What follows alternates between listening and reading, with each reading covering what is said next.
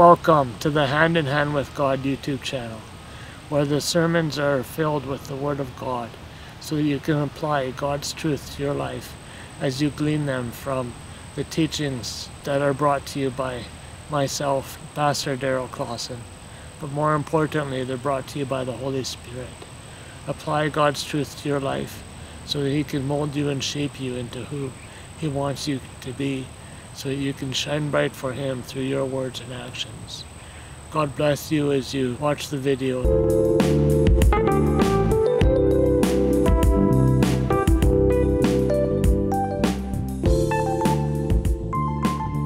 The passage of scripture I'd like to leave with you guys this week is Psalm 48, verses 1 and 2.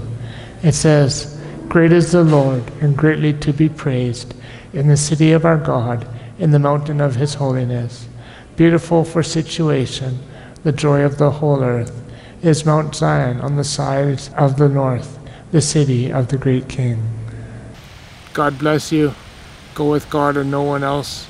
Thanks for watching.